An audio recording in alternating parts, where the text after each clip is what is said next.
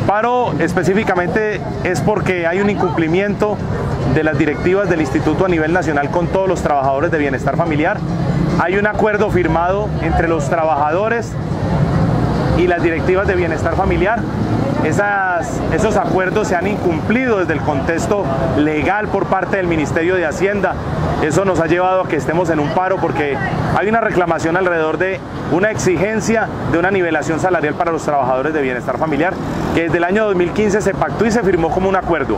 Ese incumplimiento lleva dos años por parte del Ministerio de Hacienda incumpliéndose para incluir los recursos que los tiene bienestar familiar, pero si el Ministerio de Hacienda no los incluye en el presupuesto general de la Nación en cada año y en este caso en el año 2017, pues bienestar familiar no los puede ejecutar. Y la segunda parte es la ampliación de la planta de personal de los trabajadores del Instituto Colombiano de Bienestar Familiar. El porcentaje de contratistas es muy grande.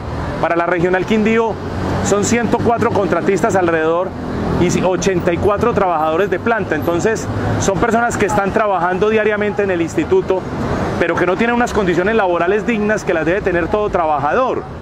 El paro en este momento es indefinido. La semana pasada hubo un avance con directivas del instituto para un acercamiento alrededor del paro, pero fue un acercamiento que fracasó alrededor de eso, las directivas no han cumplido, siguen dilatando el proceso alrededor del paro nacional de los trabajadores.